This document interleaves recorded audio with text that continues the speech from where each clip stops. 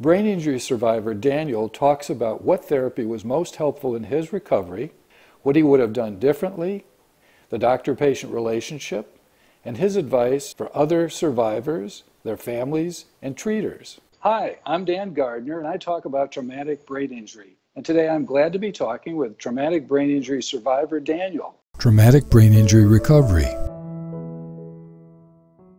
Welcome, Daniel. Hi, Dr. Gardner. It's my pleasure to be here. Thank you very much for talking with me today. So, Daniel, tell me when was your brain injury and how did it happen? My uh, injury happened um, November 7th, 2013. Mm-hmm. And it was a motor vehicle accident. I was um, struck by, a, I was riding my motorcycle and an SUV crashed into me um, because she didn't see me. Now, I'm going to ask you a little about your injuries and the problems that resulted from the accident. But before I do, I'd like to know a little about your life before the injury. Can you tell me about it?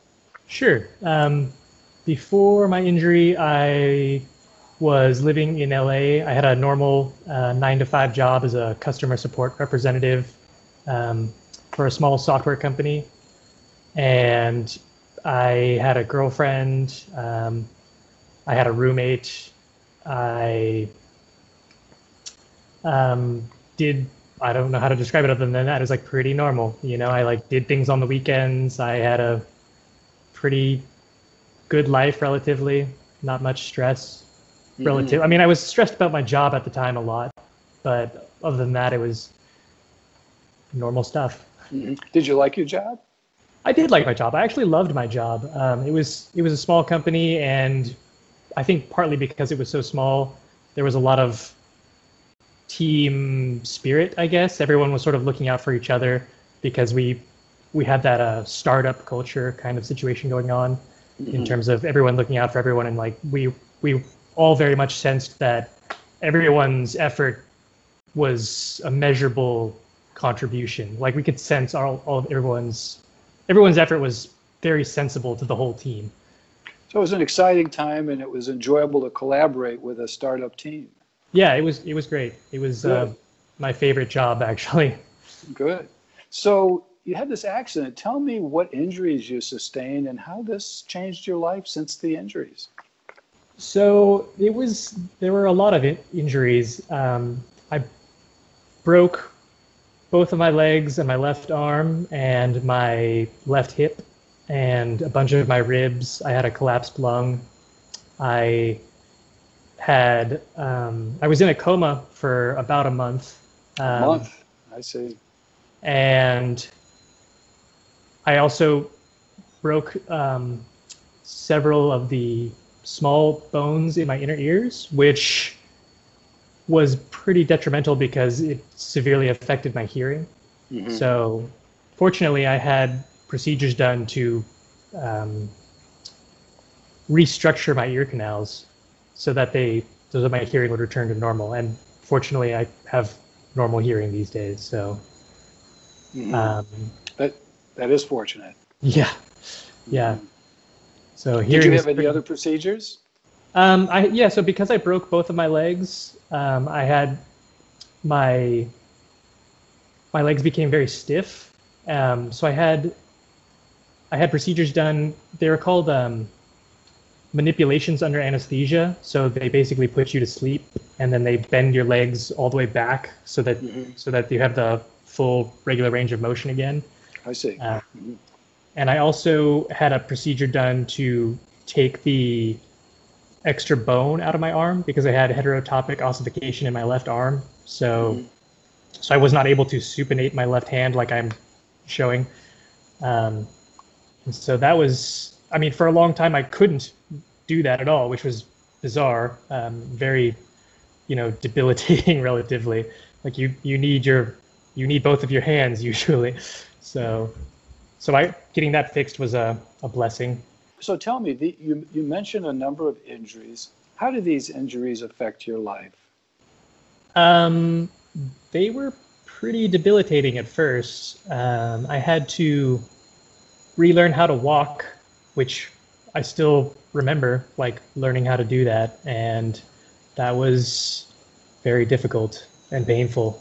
because my muscles had been very much atrophied after you know a month of not using them and mm-hmm. and i assume also just having bones in the wrong places was difficult for my muscles to adjust to around the bones so so yeah um, learning how to walk was tough learning how to use my arms properly because for a long time I didn't use my left arm. Um, mm-hmm. I just wasn't. It might be a brain injury thing, but I just sort of wasn't. I have what's called left side neglect. Mm-hmm. So, so for a long time I didn't move the fingers on my left arm at all. So I went through. I mm-hmm. definitely did therapy that was hand focused therapy. You mentioned orthopedic problems. You also mentioned that you were in a coma for a month. So how was your brain affected in this accident?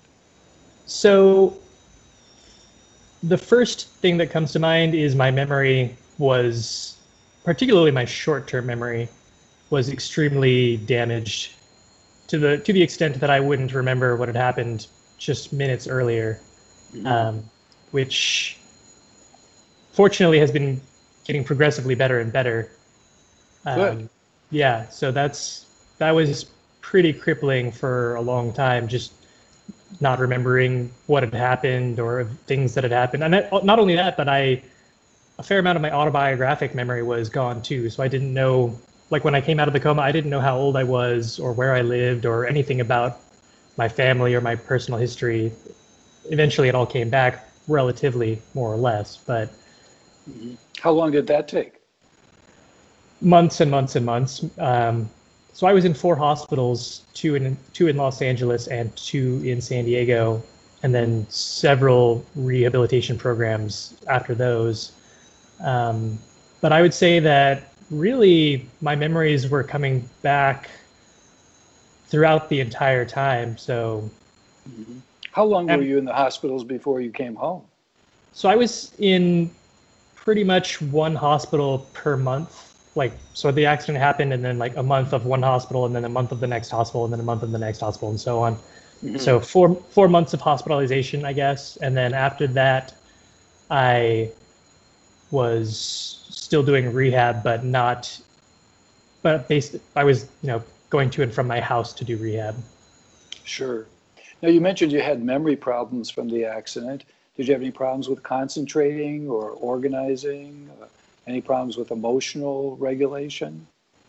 I don't really, I didn't really have, I definitely had problems with concentration. Um, and I definitely have, and I still have problems with spatial relationships. So, one example of that, and I still have this problem, is getting lost in parking lots or getting lost anywhere. Getting lost is a big problem. Um, and it continues to be a big problem, sort of. I mean, I've figured out compensatory strategies for some things, um, but I still, I mean, I I know everyone gets lost sometimes. Well, maybe not everyone, but a lot of people get lost even without a brain injury. But mm-hmm. I I would get lost very frequently at first. So I see. How did the injury affect your ability to drive, your ability to dress and feed so, yourself and shop and pay pay bills and use a computer? All of those so activities I, of daily living. Yeah so i basically couldn't do any of them. Um, i couldn't drive for a long time relatively. I'm not sure how many months but definitely at least a year. Mm-hmm. um, and i had to go through a fair amount of vision therapy which mm-hmm which was, as far as therapy goes, vision therapy was my favorite kind of therapy.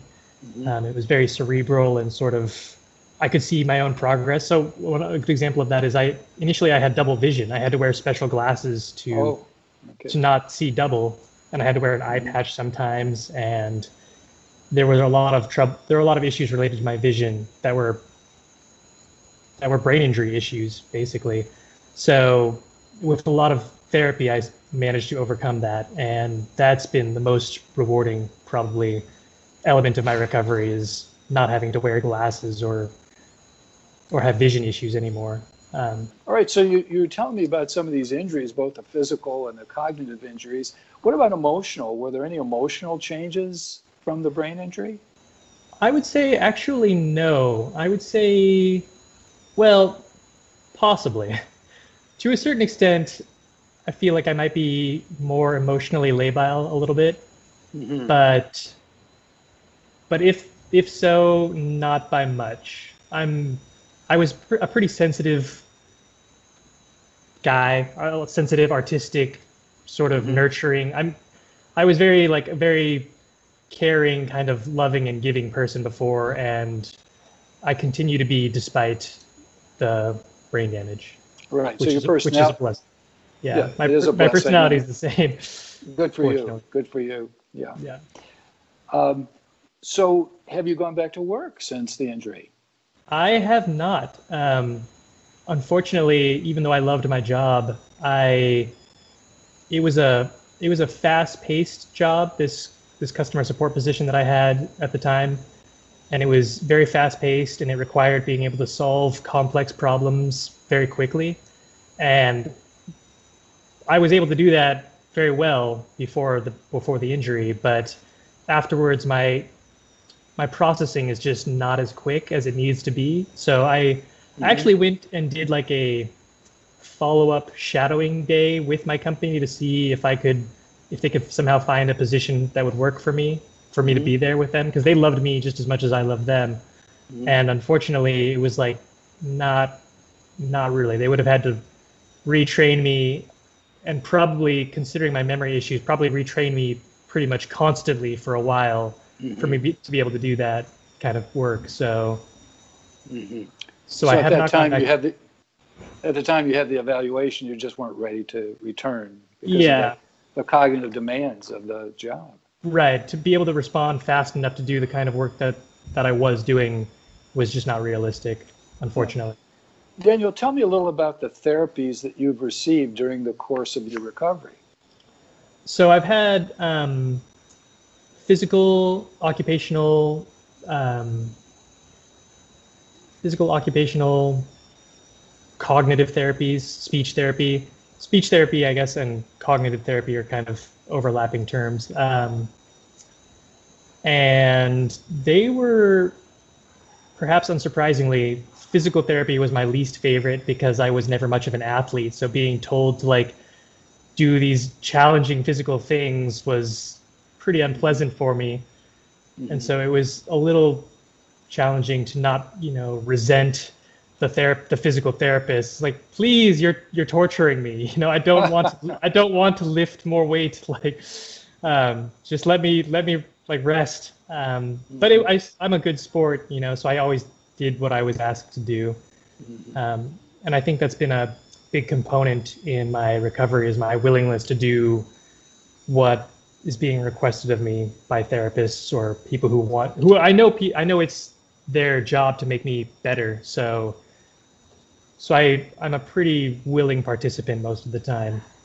Um, I see. So you're a compliant patient. That's what you're saying. yeah, I, I'm not much of a troublemaker. I never have been, which there's a, probably a lot that can be said about that. But You want to say anything more about your other therapies? So occupational therapy was relatively useful. That was more of the getting dressed. I mean, because you know, when I first came out of the coma, it's like I could not get dressed on my own. I couldn't go to the bathroom on my own. I couldn't do anything on my own. So learning how to like get dressed again, tying for the longest time, tying shoes was a big, big pain. Um, I always resented having to tie when the therapist would ask me to like tie shoes. Like, I don't want to tie shoes. Just let me get some slip-on shoes. That'll be a lot easier. And the therapists were like, no, you have to tie shoes. That's what normal people can do. So I, was, I begrudgingly did learn to tie my shoes again. Um, and you know, in the those were the occupational therapy was pretty rewarding relatively. We did a lot of cooking sometimes, and that was useful. Um, there were things like related to typing typing speed because my typing speed was pretty atrocious at first. You know, I used to be able to type a million miles a second before my accident, before the accident, but afterwards it was like very very slow. Mm-hmm. And so relearning how to type proficiently was important. Sure. Relearning, relearning how to wear clothes and tie shoes and cook food and use the facilities like a normal person. Sure. Learning So- learning how to drive was a big challenge. Right. That- Yeah, that took. Are you driving now? I am driving. Um, it was a long, hard road before I was able to drive again, much to my chagrin. I I went through driving rehab and then extra driving rehab, and my parents paid for a like a driving. They paid out of pocket for like a driving program that was up near the Palm Springs area where they like took cars took cars around like a track to do like performance style driving, which was pretty fun, but um, sort of more necessary for someone like me who has you know slowed reaction speed and stuff like that. So Yeah. Was it frustrating waiting for the recovery to heal enough to regain your independence, not only in driving but other areas? oh, the frustration was extreme and still continues honestly in some senses in some ways because there are still things that I I recognize that I was able to do them before, but I'm not able to do them now, or am able to do them now, but not as fast as I was able to do them before. And so that that frustration has been very deep, and and um, it's been um, sort of a life. It's an ongoing life lesson, learning how to accept or deal with the frustration that I was and am encountering. You know. It's an ongoing challenge to think about how you used to be and how things are now, and trying Yeah. to figure out what you can do to improve and what you need to do psychologically to adjust to the change. Yeah, exactly. It's it's I'm I imagine that I am very similar to a lot of brain injury survivors in that I've dealt with a fair amount of depression because you know, you're not it's hard to go from being on top to basically being, you know, chained into a bed in a hospital and then having to relearn everything you ever knew to get back to real Mhm. life. So, Yeah. Yeah, you certainly were out of control of your life and you had to depend on others and that's uh, that's a pretty distressing feeling. it was it was they were dark times. Dark times. Yeah. What therapies do you think were most helpful in the course of your recovery? Talk therapy for psychiatric struggles. Um, that's extremely useful because there's a lot of, as you as you know, there's a lot of there's a lot of frustration and anger and sadness and just emotional issues that come up with an issue like the kind that I have. Um, and so talk therapy is extremely useful. And I do feel like physical therapy was useful, even though it was, I begrudge, I mean, I hated it, but I was, I recognize that it was useful. Um, yoga has been extremely, extremely useful. I started doing yoga not, not too long after my accident when I was able to return to, when I, after I got my legs fixed and was able to sort of when I was brought back to my home um, with my parents and was able to sort of be out of the hospital all the time, I started doing yoga, and that has been extremely healthy, health, healthy, health, healthy, and helpful and liberating. Um, and I I recommend yoga to everyone I talk to these days, whether or not they're an injury survivor. I just think that yoga is like a great thing for everyone to do. Good for you. I, I also agree. I agree. How about healthcare providers? Which healthcare providers have you seen during the course? And I don't mean names, but what specialties have you worked with? And uh, what did you find was the most helpful for you? So I I see I still see a personal trainer like for weightlifting and building muscular strength. Um, I see I, I've been seeing him for a while. Ever since I got out of the hospital, I started seeing a personal trainer to regain strength. And that's very useful because I can see my progress with him, you know, and I'm Good. um, and so I see him twice a week, and Mhm. it's very it's very useful. And he's like measuring, you know, trying to help me make progress and make measurable gains. You know, with- Uh-huh. with the amount of with the amount of weight I can lift and the amount of repetitions I can do and whatnot. Um, so that's useful. So you've got a fitness coach or strength trainer, and and are you seeing any other medical professionals? Um, I have my primary doctor who I, you know, have regular follow-ups with Mm-hmm. yearly or whatever to make sure that everything is going okay, and that has that has been useful because I have had some strange, I have had some strange sort of idiosyncratic um, health anomalies over the last few years that have resolved, but were very mysterious. Um, one example was. say- Go ahead. I was going to say one example was my liver enzymes, some kind of liver enzymes, the levels went really high, and we don't know exactly why. Mhm. Um, so I, you know, my doctor, my primary was like, okay, we need to start figuring out why your liver is messed up. Do you drink a lot? And I was like, no, I, I never drink. Um, Mhm. not never, but I very rarely drink. That's another unfortunate, well, unfortunate in quotes, is I, I can't really drink anymore. Al- I mean, I can't really drink alcohol anymore just because it affects me very easily, very quickly. So, like, I might have one beer once in a while, but almost never. Well, how does it make you feel, and what does it make you think when you drink alcohol? Um, it's fine. It's just, it's just, I like if I, I can definitely tell if I drank too much and didn't hydrate enough because I'll have a hangover that just feels horrible, you know. And I've had hang, I've had, I remember hangovers before my accident, and I remember hangovers after my accident. And the hangovers before my accident, even though they might have been like bad, the hangovers after the accident are just unbelievably painful. Like, just crippling pain. You know, it's, it Mhm. feels like the only thing I can describe is like someone shot me in the brain with a gun. Wow. You know, it's just it's just like the most like full body, just horrid pain you can imagine. So I try not to drink too much because it's an unpleasant feeling. Understood. Understood. Now, if you were to do anything differently during the course of your recovery, would there be anything that you would have changed in terms of treatment or timing? yeah, I would have tried to start doing yoga earlier than I did in terms of I mean, granted that's probably I probably started doing yoga just about as soon as I was able to, I guess, maybe. But I don't think I re- had I realized at the time how much I how useful it is and how much I would have loved it. I would have been very I would have been more gung ho about like getting into yoga faster because Right. now nowadays it's like I can't wait to do it. You know, it's just it, I can tell it helps my health and it helps it helps my state of well-being and it helps my mind. I mean, so yeah, if I could if I could give advice to my past self, I'd be like, do everything you can to start doing yoga as soon as possible. You know, get Okay, to that good.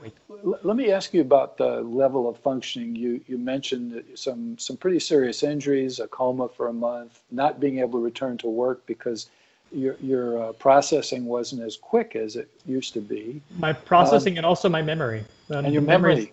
the memory is Right. probably a bigger part than even the processing because if I if I had the process down, I could have done it slowly, you know. But it's like, well, I can't remember the process because even though I just learned it a few minutes ago, I've forgotten it already, you know. Gotcha. Yeah. Well, what? Tell me, what are you able to do? Are you living independently? You said you can drive now. What things can you do for yourself?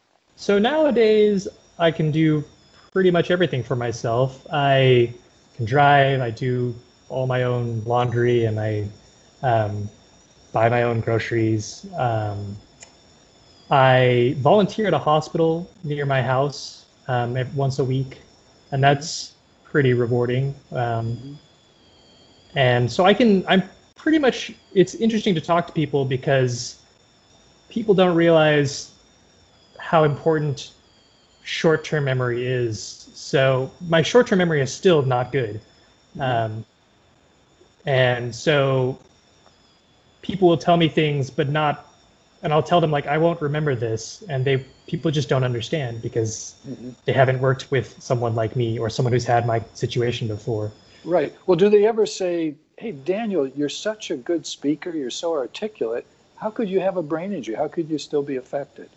no one ever says that, but but I can tell that people don't understand, if that makes sense. Um, people will people will treat me, which is fine. I, I approve. I mean, I'm I'm very okay with that being the case, but but I look and sound so normal that no one suspects that I have brain damage. Um, and so I feel like, unfortunately, that does kind of sometimes put a level of conflict or it puts a it puts a level of challenge that wouldn't normally be there if I didn't have brain damage. Do you have a specific example in mind of that level of challenge? Um, I was at one point after my accident, I was taking community college classes because I couldn't go back to my job, but I still wanted to be learning and, and getting better mentally. So I was taking these community college classes, and while working with some of those teachers, they would teach me something, and then the next day I wouldn't really remember it, and so they'd have to reteach it to me. And they, I definitely had conversations with with those teachers that was like they were they expressed shock that I was not able to remember what they had explained previously, if that makes sense. Yeah. So it has yeah. it has happened it has happened more than once where a teacher type figure would express surprise at me not remembering or not knowing something because they were surprised they had, that you had go ahead. Be, because they had taught it to me multiple times you know or shown me multiple examples and it's like what do you mean you don't remember it anymore? It's like uh i don't know how to explain it to you. I just don't remember it anymore. Like so. understood. Understood. Now during this course of recovery how do you find satisfaction? How do you find gratification in life? You said you really enjoyed your job, but unfortunately you haven't yet been able to return to it. So, how do you get gratification right now? Yeah, so that's a kind of a tough question. I I do struggle with I still struggle with finding meaning in life, I guess, to, to a certain extent. Like um, I I find it gratifying to volunteer at the hospital where I volunteer, mm-hmm. even though it's relatively a small job. It's just you know working the front desk and admitting people, and also mm-hmm. moving things like doing small errands around the hospital, like running things around and taking things to the lab and getting mm-hmm. stuff you know checked in or whatever.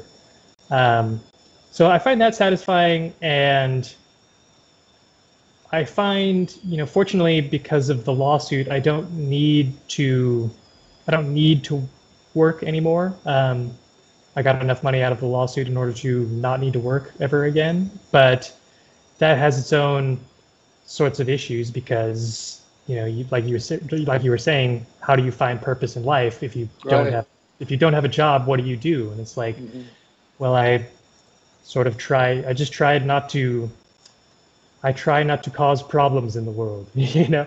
Um, well, above and beyond that, it sounds like you found another channel or another outlet in which to help people. You were doing it through customer service, and now you're doing it through the hospital hospital volunteering.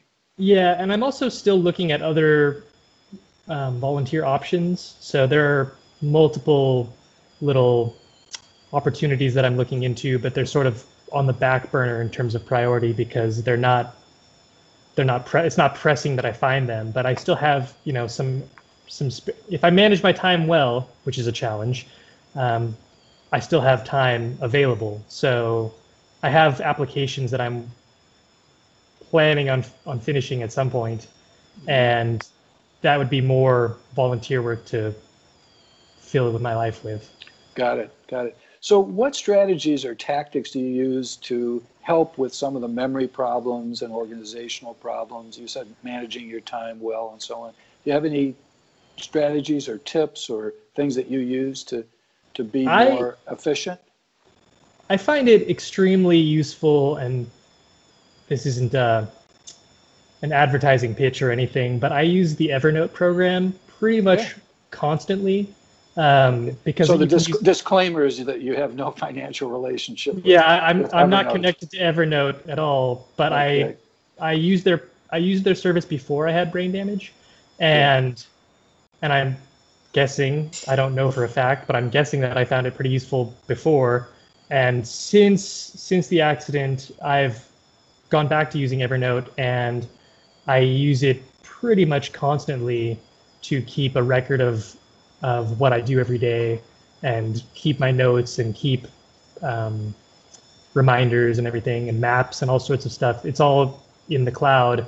So, and I even feel I feel I have mixed feelings actually about that because I'm aware of the.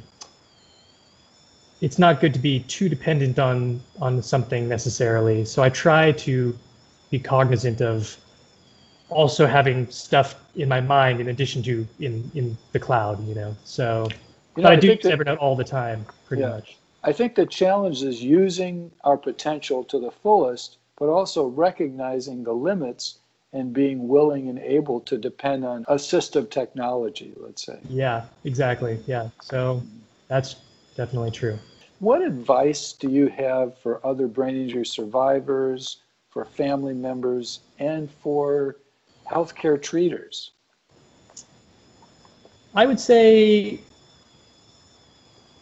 physical movement is extremely important. So, and uh, that's definitely a problem with people who have, you know, physical and brain injuries. Is sometimes your brain doesn't want to move or or whatever. So, it's it's important to start moving as much as uh, moving is motion is life. So, moving is very important. You know, if you could take dance classes or take yoga classes or any kind of any kind of activity that's going to involve your body and especially your body and mind like dance or like yoga or or i guess those are the other things dancing and yoga um, or there are kinds of stretching exercises and stuff. Um, so being using your body is probably the most important. People don't realize how how much your brain and body are connected i think. So that's one one piece of advice. Another thing is don't give up hope, even though it's very easy to give up hope. Um, but being hopeful is important just because it's not healthy if you have a negative attitude. And that, that can be very hard. I know for sure. I've firsthand, firsthand experience that being hopeful when you don't feel hopeful is not, not really a realistic thing to tell someone, but, but I think you know just be patient with yourself try uh, i'm i'm very hard on myself i have high expectations for myself and so i'm pretty upset i suppose sometimes if i don't achieve something you know as quickly as i was able to in the past or if i don't figure something out as quickly as i was able to in the past so but having having being able to forgive yourself is very important That is important. How did you learn to do that? um i i didn't really um well it's, it, you mean it's a work in progress? Yeah, it's a work in progress. I you just have to dissociate disassociate yourself from from your problems, I suppose. So it's like yeah, this is this is a problem, but you know, it's it's not you. It's just the reality around you, if that makes sense. So Okay. Or another way of putting it is is to recognize if you fall short of that that goal, what you used to be, that doesn't mean you're a terrible person or you're worthless.